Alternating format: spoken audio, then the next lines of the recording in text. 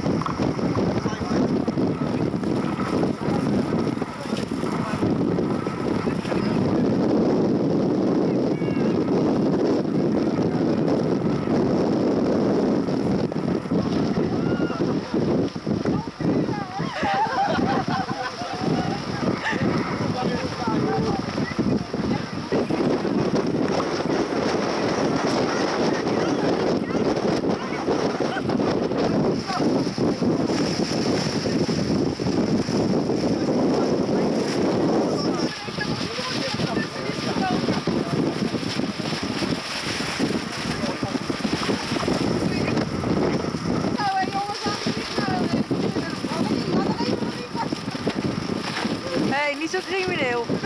Ja.